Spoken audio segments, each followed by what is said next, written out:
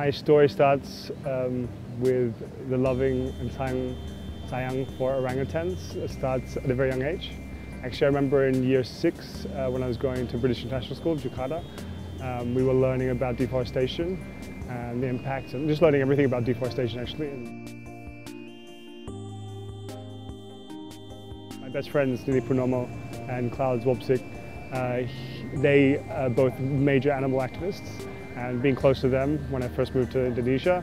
So yeah, I got the chance to work with them closely. Being an activist, I was able to, on many different foundations and I guess charity events, be able to help out and uh, get, get more active in towards it.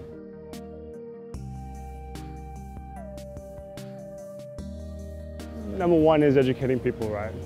But I think people don't realize is orangutans, if we don't save orangutans, we won't save us. Orangutans are, uh, again, tree, uh, the biggest, largest tree-dwelling um, apes in the forest. And their fruit um, eating and seed dispersing behavior is actually a natural, significant ecological uh, system that makes uh, you know, a whole ecosystem kind of grow in some ways. And if you take that out of the chain, eventually the whole food chain breaks down. So with not having, not having orangutans actually, or not protecting them and not protecting their home, which is the wild, the rainforest, um, we also ultimately kill off the other species that help them as well. So orangutans are the main uh, chain to actually help the rest of other species in the rainforest. Secondly, if we take that away, ultimately we lose out because in, in a way, as humans, we need the rainforest. We need, uh, we need oxygen, we need, uh, we need that land to eventually also farm sustainably ourselves. And by chopping up their homes or taking away their homes, it's going to be inefficient in the future if we do anything with the land.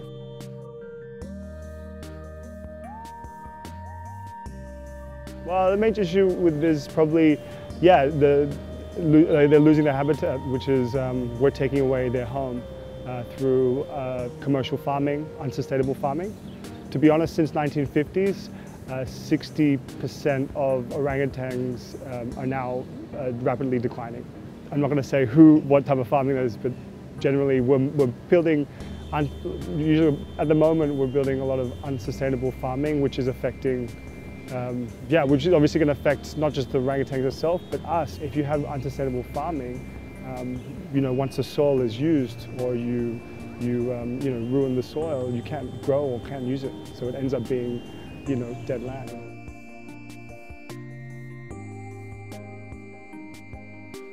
BOSS Foundation actually works uh, closely with the government because, uh, especially the forestry department,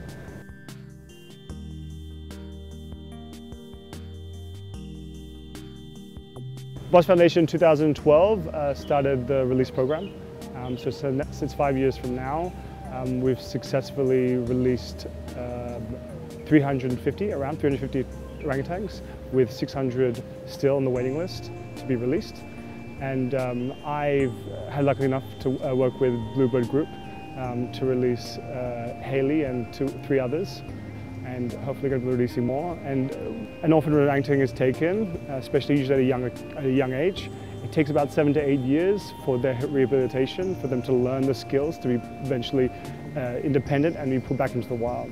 So it's actually a long process. There's still a monitoring process that takes up a few months to know that they will survive in the wild before um, they can actually let them live the, the life they're supposed to live. And my experience was uh, Haley's been in um, uh, the sanctuary for about seven years. Um, she was about, if I'm correct, about seven to six years old, if I remember her age. And um, she was also an orphan, orphan uh, orangutan. And uh, now she's in then the monitor to make sure she can, she can adapt with her new home, hopefully successfully. Um, actually doing the long journey into the jungle, which wasn't easy, you know, which constituted of like an eight hour drive uh, through muddy roads, up hills, and then eventually um, you know, crossing river crossings, right into, um, central Kalimantan. Uh, we finally released them after, uh, I think it was like a 15 hour journey. And then we finally released them to their home, with their natural home, where they should be. And the moment of letting the cage go and letting her climb up, um, I remember clearly she, she actually, um, we have to be a bit sensitive when we let them go because they're quite aggravated after that long period of you know, and they really, you can see them shaking. So when I lifted up the cage and she quickly ran up to the tree about two minutes, she quickly turned around and looked at me. And at that point, um, I was a little bit scared and shocked because you never know what's going to happen. So at that point, I just looked, watched, kept calm, and she kind of looked at everyone, wondering what was going on, but knew that she was out. So at that point, she eventually went up the tree, and I got to step back and, you know, embrace her being free for once. They are disappearing. They're disappearing fast because, like I said before, um, they're losing their home from commercial farming. The more and more we cut down the rainforest and make way for uh, commercial farming, uh, the more and more we lose, you know, something that we actually ultimately need, uh, which is the rainforest, a natural rainforest.